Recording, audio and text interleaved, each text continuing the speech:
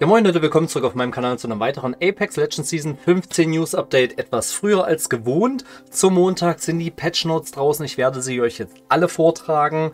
Ich zeige euch am Ende des Videos noch den Battle Pass Trailer. Der wurde ebenfalls zeitgleich veröffentlicht und der Battle Pass Trailer sieht wirklich geil aus. Und ich muss auch sagen, inhaltlich finde ich den Battle Pass tatsächlich sehr, sehr geil im Vergleich zu den letzten vielen Seasons. Lohnt sich auf jeden Fall. Klar, streitbar ist auf jeden Fall, dass die Charge Rifle den Maxi maximalen Battle Pass Skin bekommt oder beide. Das ist aber Geschmackssache. Wir starten jetzt direkt in die Patch Notes. Und ich bin auf jeden Fall am Ende des Videos ähm, gespannt, was ihr zu den Patch Notes alles zu sagen habt. Klar, Catalyst muss ich jetzt nicht weiter vorlesen. Ähm, passive Parikade, taktische Stachelstreifen, ultimative dunkler Schleier, so heißen die.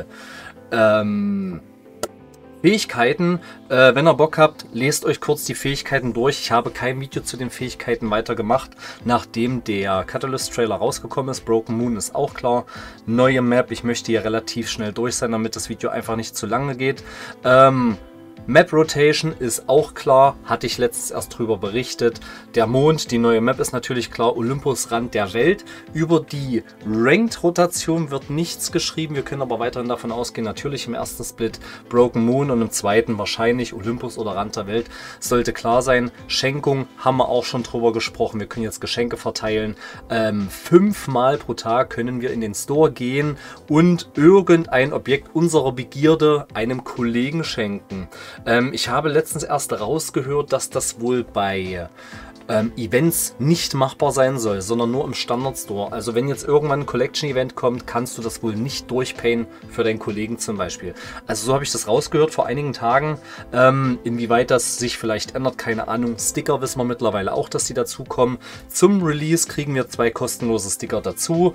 Und vom 1. bis zum 22.11. haben wir Zeit, 20 äh, exklusive Sticker uns zu kaufen für viel, viel Geld. Wie auch immer, äh, wo wir die Sticker überall drauf befestigen können, ist natürlich klar, sämtliche Heil-Items, muss ich nicht viel mehr dazu sagen.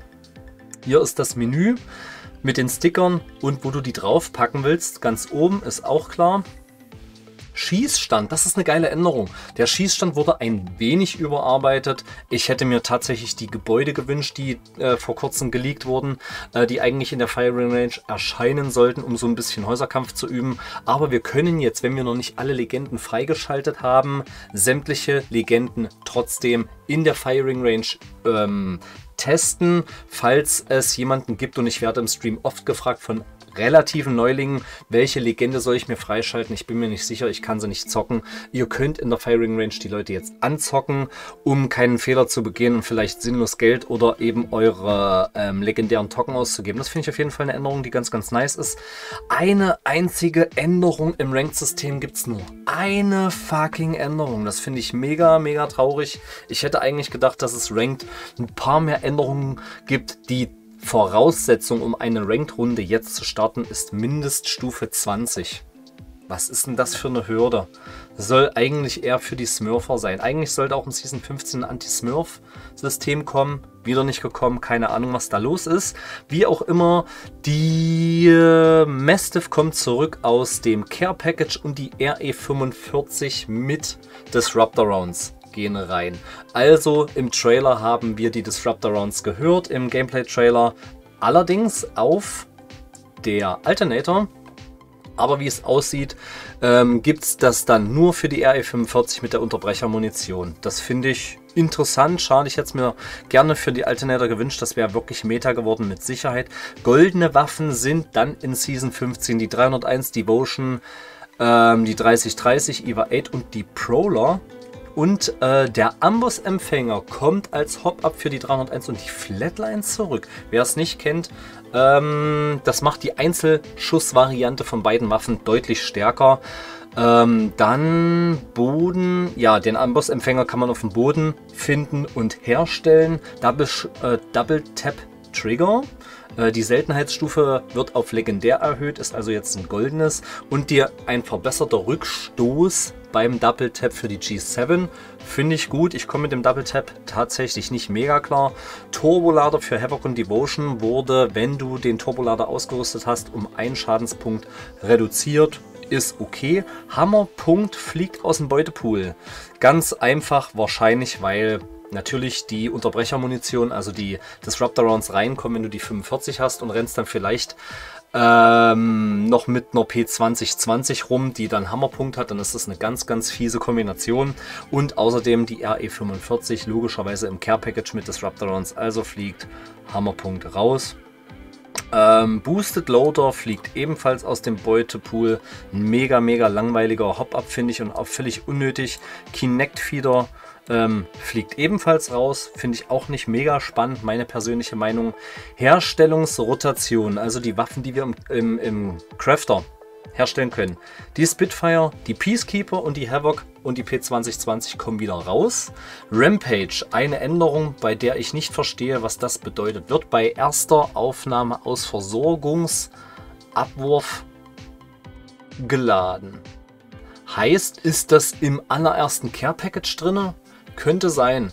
Das heißt, das allererste Care Package, was runterkommt, das sind ja immer zwei oder drei gleichzeitig. Ich bin mir nicht ganz sicher, da soll wohl eine Rampage drin sein. So verstehe ich das. Ob das jetzt wirklich so stimmt, weiß ich nicht. Also es liest sich ein bisschen bescheiden. Und es gibt keinen Hitzeabbau mehr über Zeit. Das heißt, wenn du die äh, Rampage mit einer Thermitgranate lädst und schießt ewig nicht, gibt es keinen Hitzeabbau. Das ist krass. Also ich finde es heftig. Was haben wir noch? Die Rampage und die Sentinel können vor dem Ablauf der vorherigen Aufladung erneut eine neue Ladung reinhauen. Das heißt, die Thermitgranate ist noch nicht komplett runtergeballert oder die Schildzelle auf der Sentinel. Wir können nachladen, ohne zu warten, bis es runtergeballert ist. Mastiff wird natürlich wieder angepasst, jetzt wo sie aus dem Care Package ähm, rauskommt. Kapazität von 4 auf 5 Schuss erhöht. Ähm, dann ist das Streumuster ähm, verbreitert worden. Schaden pro Kugel von 14 auf 11 reduziert. Ist natürlich klar, keine Care Package Waffe mehr. Projektilzuwachs wurde reduziert und Nachladen kann jetzt mit ADS abgebrochen werden.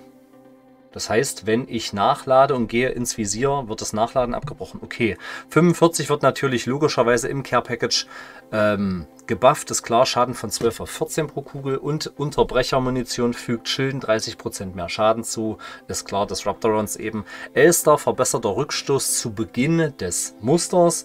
Timing der Wegstreckenanimation wurde verbessert was auch immer das bedeutet. Volt MP kriegt tatsächlich einen kleinen Nerv. Projektilgeschwindigkeit wurde reduziert und die Projektilgravitation erhöht. Das heißt, äh, der, der Kugelabfall, ähm, Bullet Drop, der Bullet Drop wurde erhöht. Okay, Triple Take bekommt tatsächlich einen kleinen Nerv und einen Buff. Also es könnte sein, dass die Triple Take in Season 15 absolut Meta werden könnte. Die Feuerrate wird ein wenig erhöht.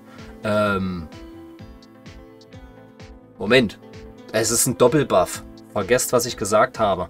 Ähm, Feuerrate wird von 1,2 auf 1,35 Schuss pro Sekunde erhöht und die Choke-Ladezeit wurde verringert von 1,1 auf 0,75 Sekunden.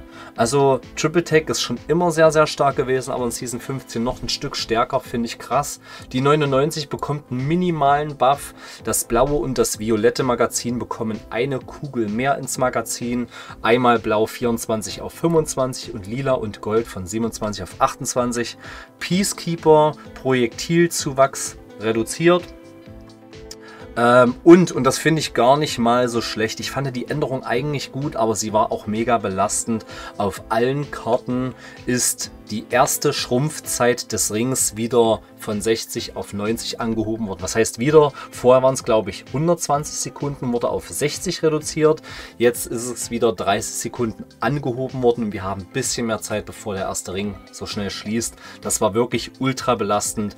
Ähm, danach lese ich euch eigentlich nur noch vor, dass die Ziplines auf Distanz jetzt gepinkt werden können und der Rest ist eigentlich nicht weiter spannend. Ach so, die Aufnahmezeit wenn du ein Respawn-Beacon aus einer Deathbox holst, wurde reduziert. Also ich, ich, lese es mal komplett vor. Zeit für die Aufnahme der Abzeichen zweier Teammitglieder aus ihrer Todeskiste durch den Abbruch der ersten Begegnungsanimation beim Einsammeln des zweiten Abzeichens wurde verkürzt. Was? Oh, man kann es auch kompliziert schreiben.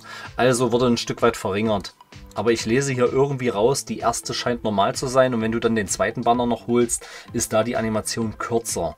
Whatever. Bugfixes gehe ich jetzt wie immer nicht drauf ein, mache ich sonst jetzt auch nicht wirklich. Ich zeige euch jetzt noch den Battle Pass und würde natürlich in den Kommentaren gerne von euch wissen, was haltet ihr von den Patch Notes.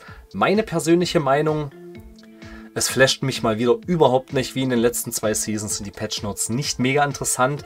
Ich muss aber dazu sagen, wenn die Patch Notes nicht mega interessant sind, was das Balancing der Legenden oder der Waffen betrifft, dann scheint ja Respawn zufrieden mit dem Balancing zu sein. Ich gehe mal davon aus, es gibt aktuell keine Legende, die mega OP oder zu schwach. Naja, doch, zu schwach gibt es immer irgendeine Legende wie Krypto oder keine Ahnung, zu stark würde ich jetzt gerade nicht behaupten. Waffen, die OP sind, würde ich jetzt auch nicht sagen. Die Wingman finde ich persönlich ein bisschen zu belastend.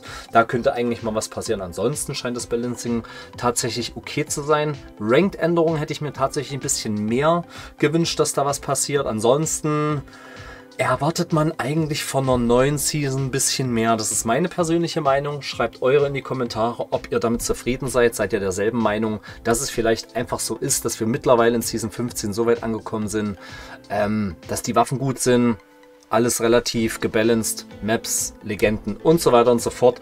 Aber dass keine einzige Legendenänderung dabei ist, das finde ich schon ein bisschen heftig. Also ich glaube, da hätte ein bisschen mehr kommen müssen, weil gerade auch Revenant eigentlich ein großes Thema schon vor zwei oder drei Seasons war, dass da mal wieder was passiert.